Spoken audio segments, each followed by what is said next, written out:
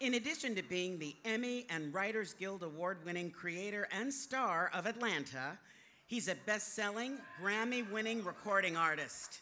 Please welcome superstar Childish Gambino, aka Donald Glover.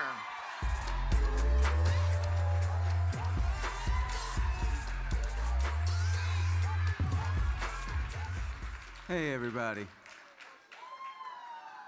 Appreciate this. This is, um, I'm gonna be real. I've never been here before, and this is wild.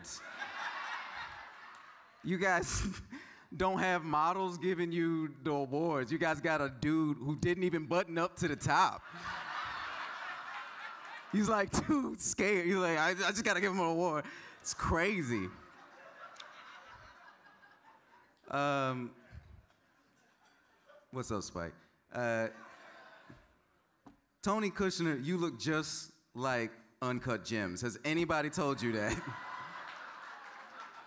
okay, good.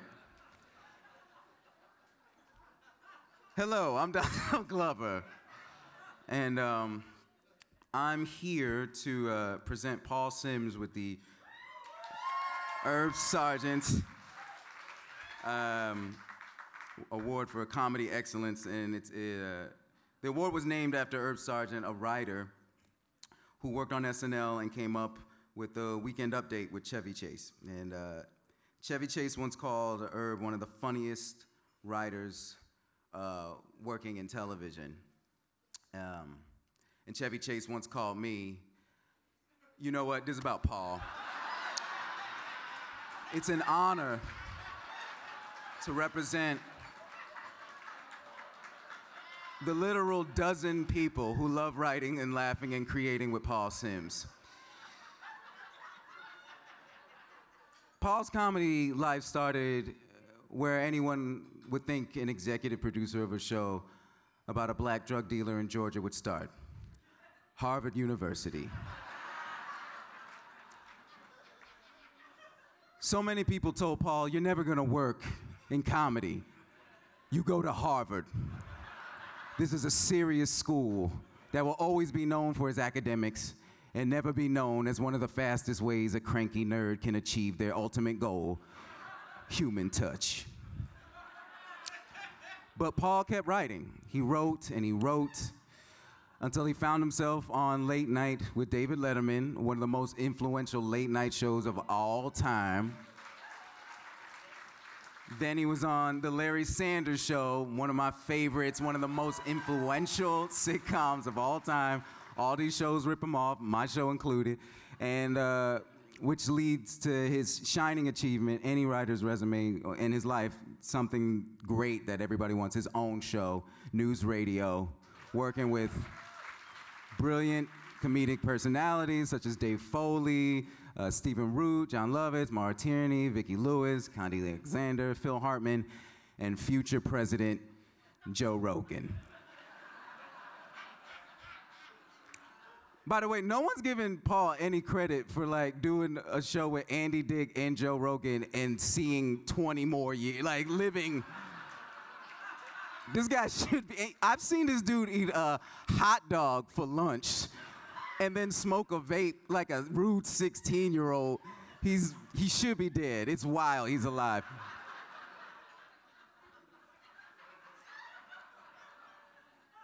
News radio was a critical darling, but struggled to find an audience with only a minuscule 11 million people tuning in every week and was canceled after 96 episodes. That is crazy how times have changed. It, the Atlanta's premiere had eight people watching it. yeah, um, it's yeah, uh, but you know, from there he would go on, you know, and work on some of my favorites: uh, Flight of the Conchords, Bored to Death.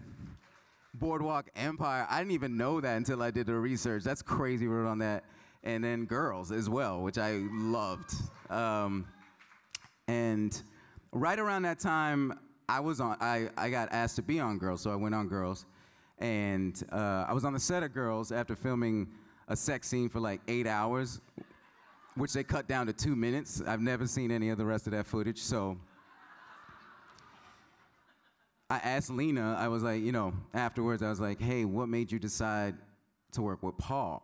You know, and she goes, she goes, honestly, this nigga lets me do whatever I want. And I remember thinking two things. I was like, one, Lena is using the N word extremely liberal with me. Who does she think she is? Chevy Chase? And two, I don't know why Chevy's getting it tonight. Um, and two, that's the kind of producer I want, you know? Because when I was writing on 30 Rock, Tina and Robert, who are also recipients of this award, um, drilled into us that hard work pays off. And even setups can be punchlines, and nothing comes easy in comedy. They felt like your comedy mom, and they care about you, and they want you to succeed because the world just isn't a safe place, and they want you to be ready. And Paul was kind of like your absentee comedy father. He's like, he's actually a good guy, and, and you're mad he's not around because you miss him when he's gone, but when he's there, he's so much fun, you forget to be mad. And he never freaked out about the changes in the script. He never tried to push his vision of the show on us. You know, he, he wanted what we wanted. And anytime we'd give, he'd give us a joke, it'd be like one of the funniest ones of the season. And like any good bad father, we craved his approval, but also knew he really couldn't be bothered with our emotions. You know, he, he doesn't care much, but he works hard. I'm dead serious, but he works hard. And he always reminded us, like, it's just a show. You know, if you don't really live life, then you'll have nothing to write about. You know, which was real shit when we were young. Like, I was really excited about hearing that. Paul, you know, he's really calm and zen. His, his leadership style is like Phil Jackson's, is, you know, like, and just like Phil Jackson, he sat on the sidelines and collected awards off the work of some of the best black talent of a generation.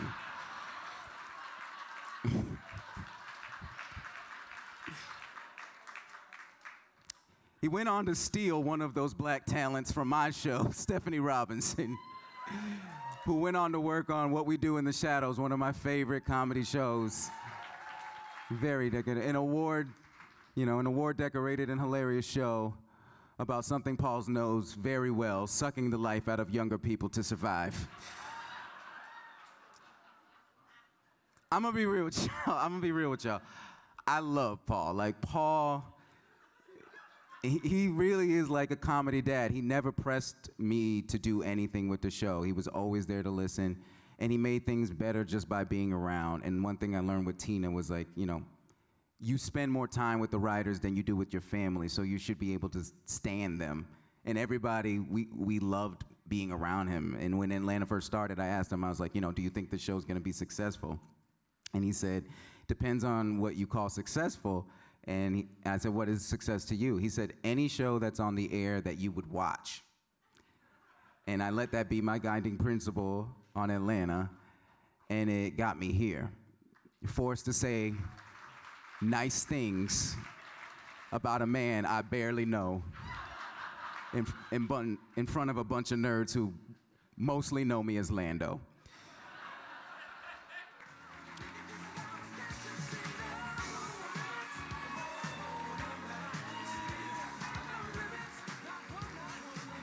Paul, I love you. Thank you so much for everything you've done for me and everything you've done for the comedy community for over 30 years. Please welcome to the stage, Mr. Paul Simms.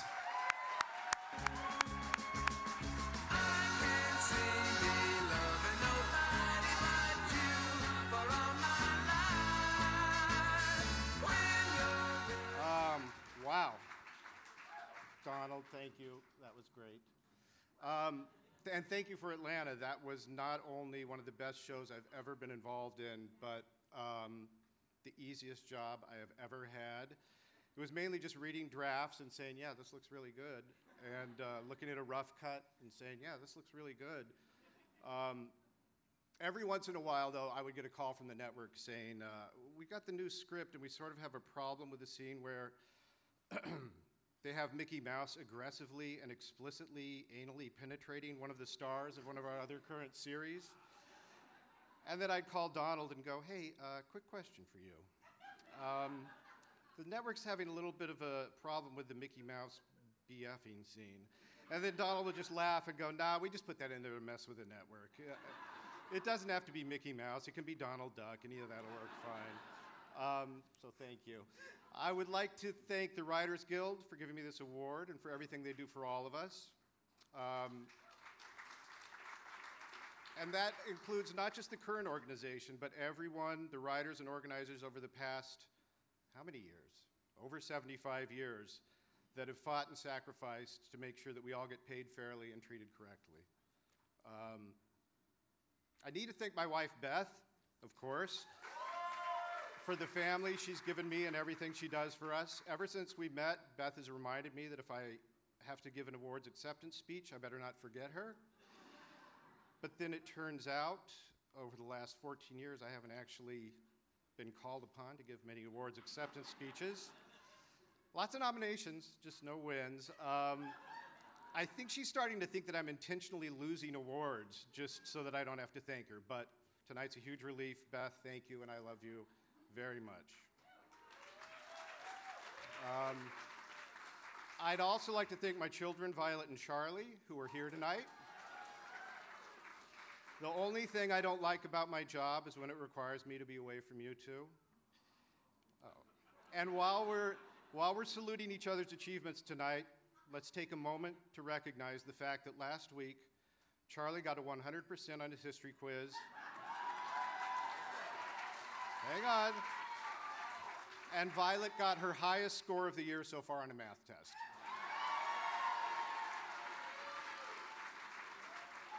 Um, my agent, Michael Rosenfeld, is here also.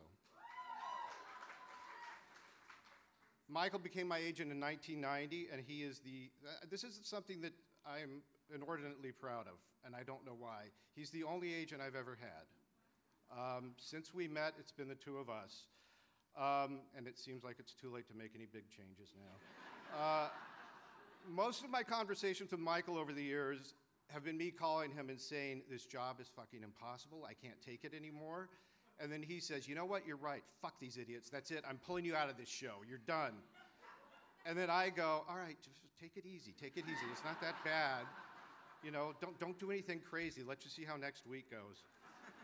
Um, I also, if there's one person I wish could be here tonight who's no longer with us, it's, it's my old friend Brad Grey, who taught me a lot about uh, when everything is falling apart, sometimes the best thing to do is go home, hug your kids, and just go to sleep because you can deal with it all the next day.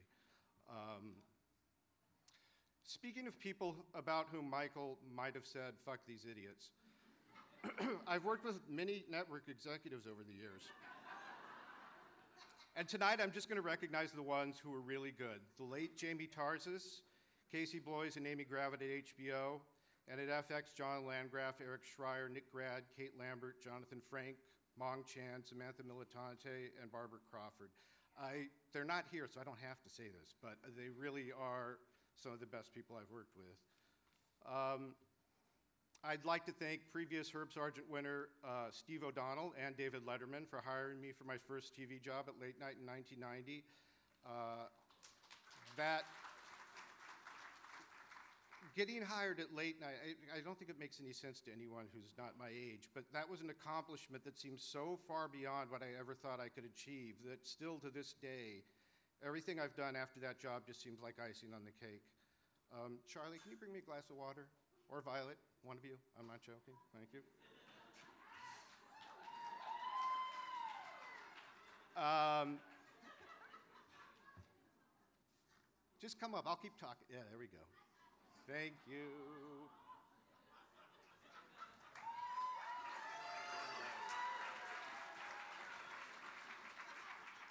Um,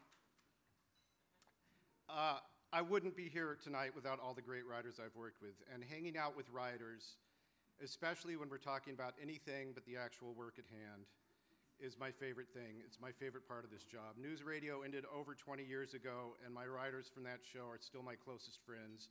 Uh, some of them are here tonight. Josh Lieb, who's nominated for the Charlamagne Show. Um, Sam Johnson, who you saw in the video, who works with me on Shadows. And Julie Bean, who couldn't actually be here because she's uh, doing a pilot up in uh, Toronto. But she's been at my side in one way or another since 1991. Uh, it's remarkable to me that so late in my career, I've had the opportunity to work on a show as silly and stupid and enjoyable as what we do in the shadows. It's the most fun group of writers I've worked with since news radio, and I believe they were instrumental in me getting this award. And they're all here tonight. America, I'm, I'm definitely going to forget someone, and then you can all bust my balls about it tomorrow. America, Sarah, Sam, William, Shayna, Zach, Jake, Max, Rajat, Jeremy, Lauren, Samantha, Wally, and of course Stephanie, who's no longer with us, but she's not dead. She's just off do, making movies and doing a pilot. Um, oh, I've worked with so many fantastic actors over the years. But since tonight's event is not televised, and there's nobody here but us writers, I thought I'd take this opportunity to say to all the actors out there, on behalf of all of us writers, you're welcome. Um, it's like, yes, yes, you ad libbed a great variation on the joke we wrote. Now, why don't you come upstairs and ad lib the stories of the remaining nine scripts, including solid season arcs for each of the characters? Um, all right, one last, this is one last thing. When it uh, came to writing my remarks for tonight, I asked the Shadows writers to help me out. And uh, don't worry, I paid them each double what I'm getting paid for this speech right now. But to make it more exciting, we decided that they would write what I should say, but they did it when I was out of the office, and that I should have no preview of what they wrote. And then they put their remarks in this sealed envelope. So I'll be hearing all this for the first time. It's an experiment, but I think it's going to go great. All right. To my darling Beth, oh Jesus. To my darling Beth, you are my cozy bunny. You are a cutie patootie. To fall asleep in your arms is the honor of my life. My whole body tingles when we kiss. You are, your womanly touch, your magnetic smile, your lovey dovey goo goo gaga, you make me want to boogie woogie. Kissy kissy, my missy. All right, thank you. This is a classic, Baba Booey. All right. Um, Dear Paul, this is free work during a strike year. Good luck, motherfucker. Very nice. Someone says I just crop dusted table 69. There are so many incredible writers here tonight. I wish I could shake all of your hands. Paul, leave the stage and shake 30 people's hands. that. That. This is, this is, all right, this is obviously a story idea for the show. Nandor gets a motorcycle. Marnie gets a motorcycle that's left over from girls. Herb Sargent, more like Herb Suckett. Paul Simms bows to no man.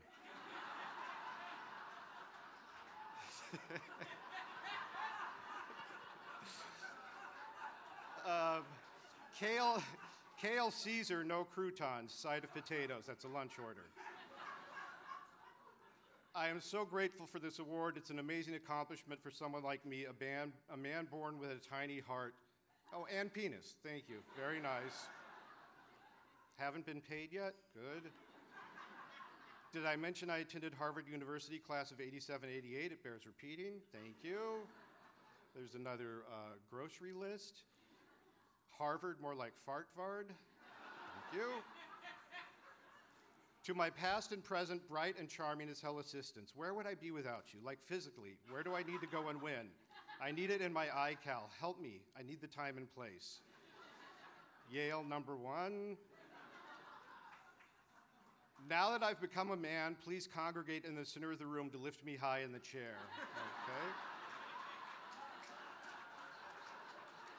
This one is a drawing. I'm glad most of you, except the front row, can't see it. Um, I, all, I owe it all to marijuana, puff, puff, pass, weed rocks. That is absolutely not true, and that's a violation of everything I believe in. I hate marijuana. I never wrote for The Simpsons, which is fine. Who cares about Homer, Bart, Mr. Burns, or Lisa? I certainly don't. We're almost done here.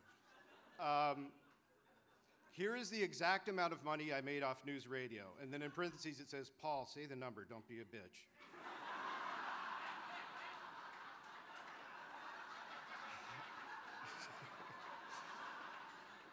Thanks to my agent Michael Rosenfeld, aka Zaddy. I love you, Zaddy. Oh, fuck.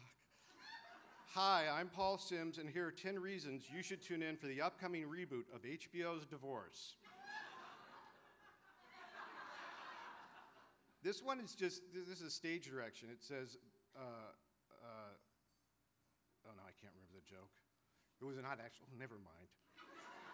Um, oh no, I remember the joke. It was uh, do a Bud Dwyer. That's a, just, okay. It's, it's a historical reference.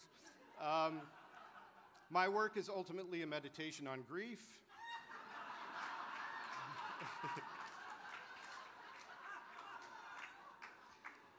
Last two. I always say the writer's room is like my family, which is why tonight I, Paul R. Simms, Harvard 8788, do hereby bestow um, unlimited use of and access to my beach home to the staff of What We Do in the Shadows. Again, unlimited under the eyes of the law forever. Um, Violet and Charlie, it's the last one. I'm sorry for all the late nights, but I do it for you, and now you owe me. Thank you very much for this, everyone.